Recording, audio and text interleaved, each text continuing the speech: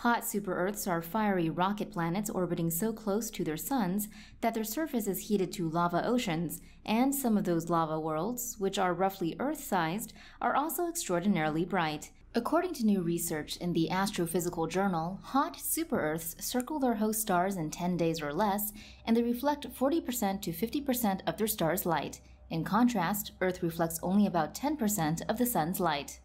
The researchers melted basalt and feldspar at laboratory conditions and then took spectrometer measurements of how much light the substances gave off. The results suggest that lava accounts for only 10% of a hot super-Earth's light.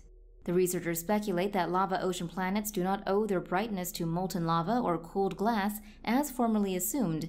Instead, the scientists speculate that their brilliance may have originated from metal rich atmospheres and reflective clouds.